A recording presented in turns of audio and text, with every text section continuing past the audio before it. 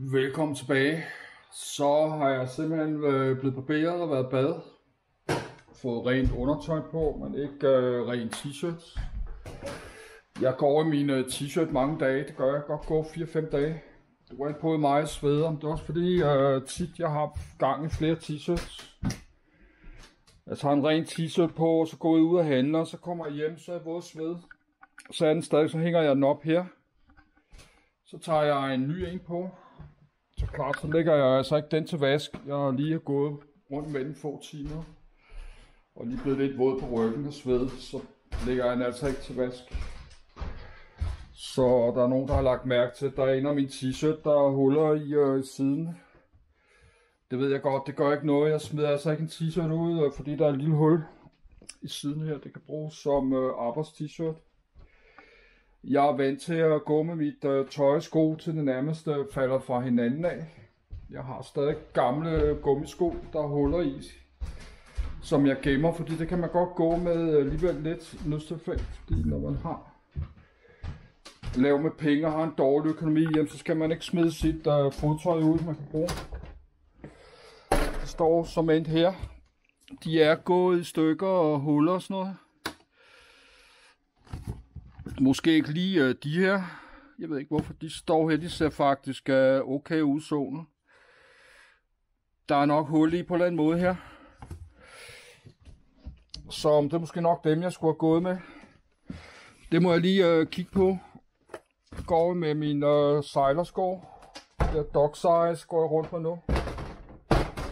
Men det er læderstørper, de går op hele tiden, og det er simpelthen møghammerende irriterende. Nej, går de her, men sådan nogle lædersnørbånd, de går op hele tiden. Så det er simpelthen så irriterende. Det er de her, der er gået i stykker mange år siden. De har huller ned under her, men jeg gemmer dem altså stadigvæk, fordi man kan altså godt lige gå med dem øh, nogle gange. De her er også store huller i ned under her. Men så længe jeg ikke har noget andet, jeg skal lige have købt to par sko på her Nyborg eller sådan noget. Jeg ved ikke med øh, de her, det er så nok dem her, jeg går med. Hvorfor går jeg så ikke med dem? Og hvorfor jeg går med dem? Det må jeg lige have på næste gang her, de sorte her. Når jeg cykler, kanskje skal jeg, jeg ved ikke, hvorfor jeg går rundt med dem her så. Jeg tror, der er et eller andet galt med de her. Det er derfor, jeg ikke har gået. Der er et eller andet noget med snørbånd er knækket, eller et eller andet åndssvagt. Ja, der er noget med snørbåndet her. Snørbåndet ser helt åndssvagt, fordi det er sådan helt flænset her. Men det må jeg jo lige kigge på, om jeg kan klippe af eller sådan noget. Og man kan også købe øh, nyt snørbånd. Det vil jeg lige spørge min mor, om hun kunne købe noget nyt snørbånd, to par snørbånd. Eller to-tre par snørbånd til øh, gummisko, så jeg har. Yes, men nu er klokken øh, 12. Men øh, når man først står op klokken 9, ja, så er der så ikke så lang tid til kl. 12. Men øh, jeg skal altså ikke op klokken 7 om morgenen, fordi jeg har ikke noget at stå til. Og klokken bliver så også tit et to nat. Hvis jeg først falder i søvn kl. 2 om natten, så skal jeg altså ikke op kl. 7. Det er kun 5 timer. Og jeg kan ikke klare mig med øh, 5 timer søvn. Fordi så er jeg træt og, og utilpas og lidt søvndrukken og irritabel og sådan noget. Så jeg skal have de der 6-7 timer søvn mindst. Så, men jeg sover ikke bare igennem til, øh, nej, nu sover vi bare, fordi så kan jeg komme til at sove til nu hver dag. Så vil jeg sove til klokken øh, 12, 11, øh, mellem 11 og 1. Hvis jeg bare lå til klokken 3-4 nat og så YouTube og spille spil og sådan noget, så vil jeg vågne mellem klokken 11 og 12 og sådan noget.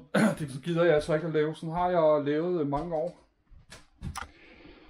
Uh, ikke den her lejlighed, men min anden lejlighed, hvor jeg bare sad og spillede computer og sådan noget. Yes, jeg vil godt fortsætte. Jeg bliver ikke færdig med det her. Men det er jo fint vejr, og nu kommer varmen også, og nu har jeg et varmeproblem. Og jeg gider ikke at sidde og læse de der blade op i øh, over 25 grads varme. Tager altså to timer at læse en stort blad op, nu sådan lidt med 128 sider. Det tager to timer at læse op. sådan et stort et her på 128. Yes, men jeg har nu har været bad og sådan noget. Men jeg har bestilt øh, uh, 115 mere, det er sådan lidt mere end det her. Der er nok 40 i sådan en her. 3, 4, 5, 6, 7, 8, 9, 10. 20.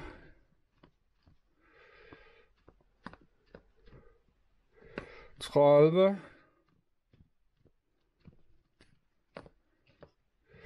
40. 6 for 47, 8 for 49, 50. Der er 52, 53. Det svarer til sådan to. Jeg har bestilt, øh, hvad der svarer til 115. 115, det er sådan to øh, kurve her.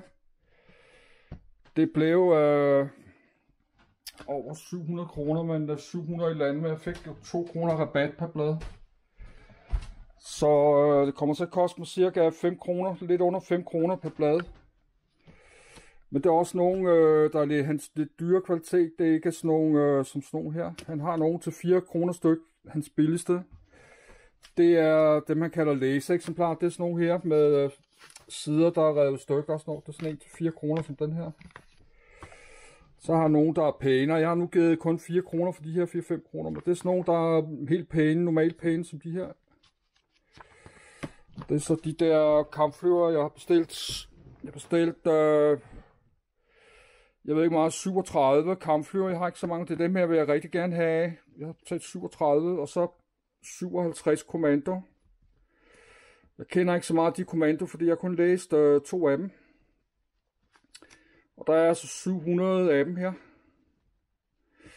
Så har jeg 70 af de her, men så har jeg kun øh, 10% af de der. Og der er 500, lidt over 500 af de der kampflyver her. Så når jeg har lidt over 50, så er der også kun 10%. Yes. Men jeg har nogle øh, videoer også, mange videoer. Og så lige se, om der er noget. Der er der. Ja, det er del øh, 300 og øh, 321.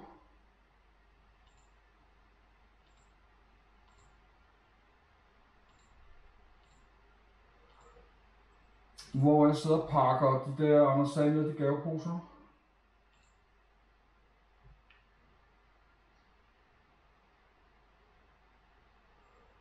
322.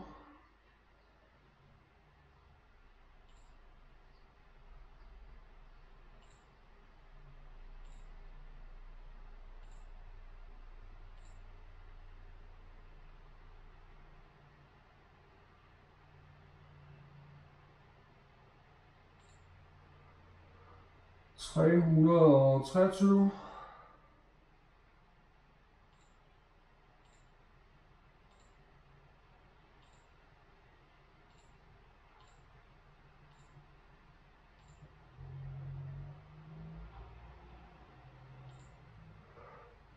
Og 324.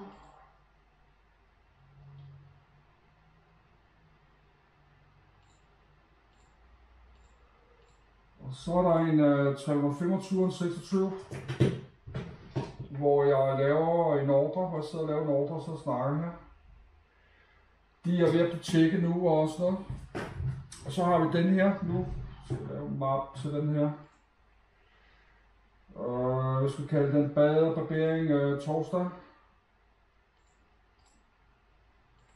Bade og barbering torsdag middag.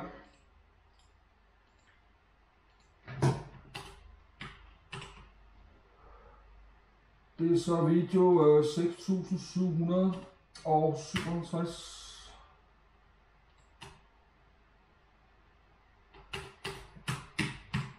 Bad og bare en tors, torsdag middag.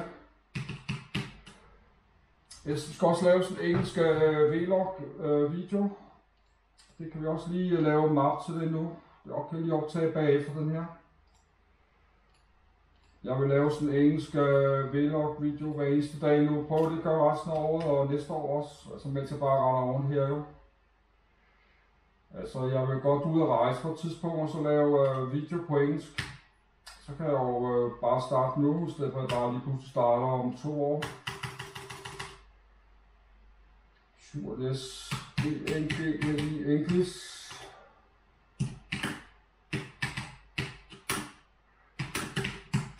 Have a good. Så bliver jeg så nødt til at skrive de her ugedage ned her.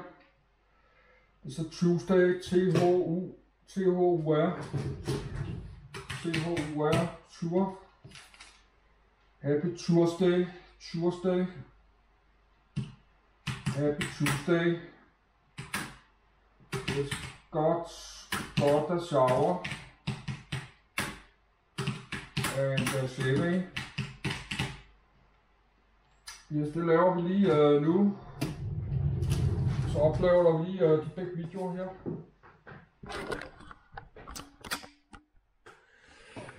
Lad os gøre det.